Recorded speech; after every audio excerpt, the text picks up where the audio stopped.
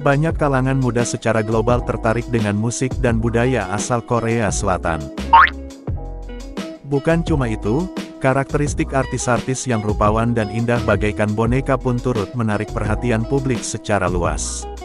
Namun, siapakah di antara mereka yang paling banyak disebut tampan menurut penggemar? I don't know. Disimak dari gramedia.com, berikut daftar artis Korea ganteng yang masuk ke daftar Top 25 Most Handsome Korean Actors of All Time, versi Koreabu. 1. Ji Chang-wook Ini orangnya. Ji Chang-wook merupakan aktor dan penyanyi asal Korea Selatan, ia tampil dalam Heller 2014 Suspicious Partner, 2017 The Bros, 2017 The K2, 2016 sampai The Empress Key, 2013. Ji Chang-wook juga terlihat sebagai model untuk merek ternama, seperti Calvin Klein, AMH, Lot Duty Free, Oh Beer, dan masih banyak lagi. Ia terkenal dengan penampilan yang natural, sehingga memenangkan berbagai penghargaan, seperti Best Actor atau Best Dress Actor di Korea maupun luar negeri. Suami. 2. Hyun Bin Lahir sebagai Kim Tae Pyong, bukan Kim Tae Hyung ya, di Seoul tanggal 25 September tahun 1982, ini tampangnya. Hyun Bin merupakan aktor terkenal asal Korea yang banyak muncul di drama ataupun film Korea, seperti Crash Landing on You, 2019 Secret Garden, 2010 Memories of the Alhambra, 2018 Confidential Assignment, 2017 Rampan, 2018 sampai My Lovely Samsung, 2005.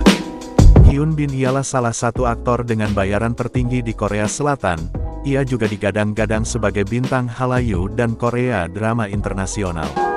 3. Seo In-guk Salah satu aktor Korea drama yang sangat dicintai di Korea ialah Seo In-guk.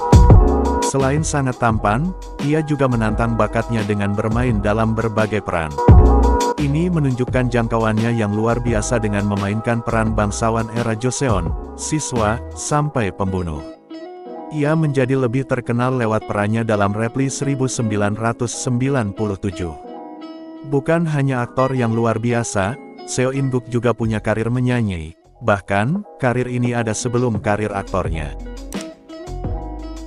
4. Lee Seung Gi Pria kelahiran tanggal 13 Januari tahun 1987 ini banyak digemari, khususnya dalam perannya pada Vagabond 2019 dan Mouse 2021.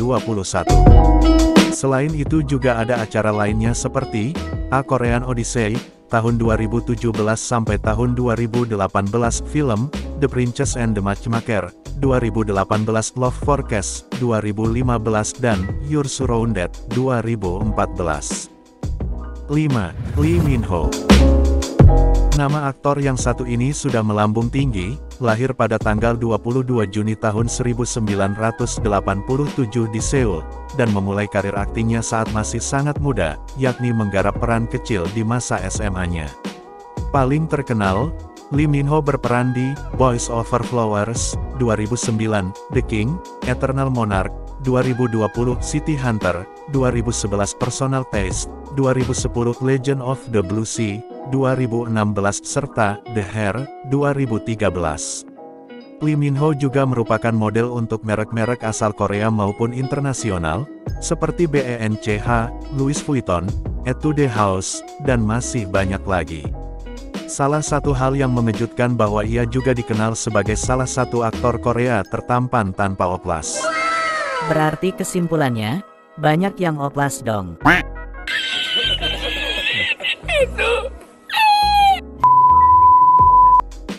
6. Jang Hyuk Aktor yang bermain dalam drama, Tell Me What You Saw, 2020 ini, merupakan kelahiran tanggal 20 Desember tahun 1976. Ia juga membintangi drama Korea lain, seperti Red Loyal Heart 2022, My Country, The New AG, The Chronic Clown, 2019 The Slave Hunters, 2010 sampai Successful Story of a Bright Girl, 2002. Selain itu, Jang Hyuk juga membintangi film Tomb of the River 2021, The Swordsman 2020, Ordinary Person Because He Love You 2017 dan The Flu 2013. 7. Kim Soo Hyun Kim Soo Hyun memulai karir dengan peran seorang pria desa yang rupanya merupakan seorang jenius musik sejati dalam Dream High. Bintang halayu papan atas ini lalu memerankan peran ikonik dalam My Love from the Star sebagai profesor alien yang membuatnya makin populer. Aktingnya dalam Moon Embracing the Sun juga merupakan dramanya ketika menjadi raja muda, Lee Hawon. 8. Lee Jong Gi Sangat banyak pemirsa Korea bahkan global yang gagal move on dari drama, Moon Lovers, Scarlet Heart Rio, karena alur dan pemainnya yang luar biasa, salah satu pemeran utamanya, ialah Lee Jong Gi. Aktor, model, sekaligus penyanyi Korea ini kerap disebut sebagai ikon, flower boy, dan dikenal sebagai pangeran yang menawan dari drama sejarah tersebut. Peran utama pertamanya dalam The King and the Clown menjadikan Lee Jong Gi populer. 9. Lee Jong Suk Sudah menonton serial Big Mouth, kalau sudah maka kalian pasti sangat tidak asing dengan Lee Jong Suk. Ia merupakan salah satu aktor Korea yang paling dicari. Ia memulai karirnya sebagai model runway dan dianggap sebagai model Korea termuda pada usia 15 tahun. Meski begitu, model ini langsung beralih ke dunia televisi. Dalam drama, School 2013, ia menampilkan karakter utama dan ini memberinya penghargaan akting pertama dan popularitas yang memuncak. Ia juga memainkan drama, Pinocchio, yang menceritakan seseorang dengan trauma masa kecil dan mengalami cegukan setiap kali berbohong. Ada pula drama lainnya, Two Worlds, yang bergenre fantasi, menceritakan putri seorang penulis webtoon populer yang ditarik masuk ke dunia fiksi dan bertemu pemeran utama pria alias Lee Jong Suk. Drama berikutnya, While You Were Sleeping, yang juga bergenre fantasi, menceritakan seorang gadis yang punya mimpi tentang masa depan mengerikan milik orang-orang tertentu. 10. Gong Yo Drama Goblin, atau nama lengkapnya, Guardian, The Lonely and Great God, adalah salah satu drama yang dibintangi oleh Gong Yo. Pria kelahiran tanggal 10 Juli tahun 1979 ini juga bermain dalam drama, Big, 2012 dan Coffee Prince, 2007. Tidak hanya itu, Gong Yoo juga bermain dalam film, Seobo, 2021 Kim Ji Yang, Bond 1982, Train to Busan, 2016 dan Silence, 2011.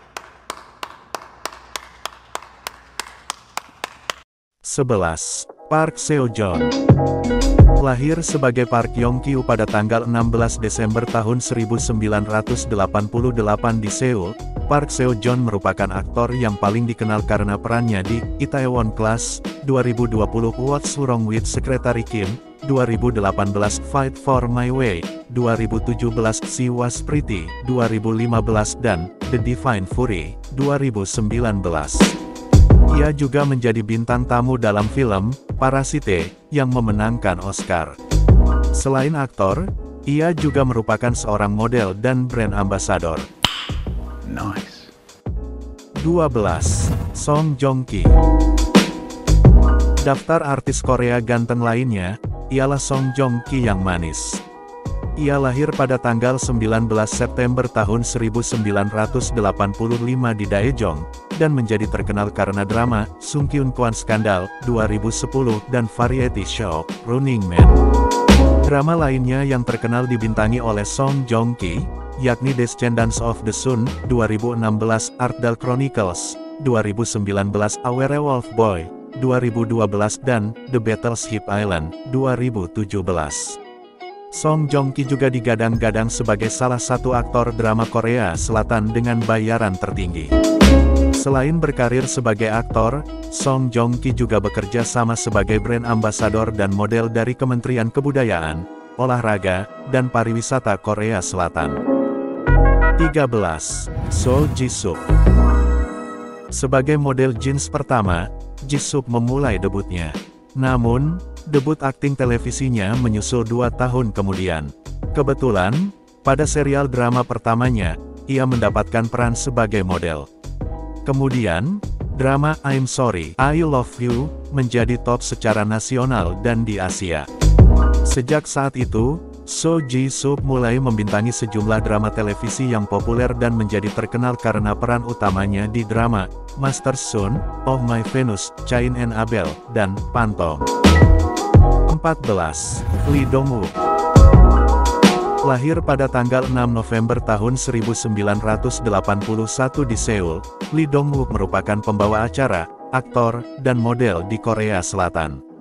Dalam perannya di Girl 2005, Dong Wook menjadi terkenal.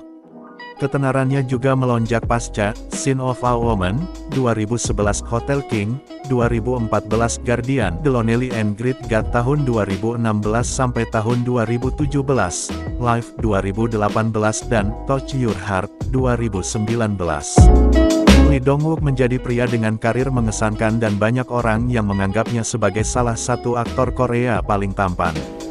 15. Kim Woo Bin Kim Woo Bin merupakan aktor kelahiran tanggal 16 Juni tahun 1989 yang bermain dalam drama The Hair 2013, School 2013, dan Vampire Idol 2011. Pria dengan tinggi 188 cm ini juga bermain dalam film, Master, 2016-20, 2014 Charlie Leslie and Affectionately, 2016 dan The Con Artist, 2014. Nice. Guys, itulah daftar artis-artis Korea tertampan yang banyak digemari para pecinta drakor. Selain indah dipandang, kemampuan mereka juga bukan kaleng-kaleng. Kira-kira siapa nih yang menjadi favoritmu? Coba tulis di kolom komentar, dan sebelum meninggalkan video ini boleh dong tekan tombol subscribe dan like-nya.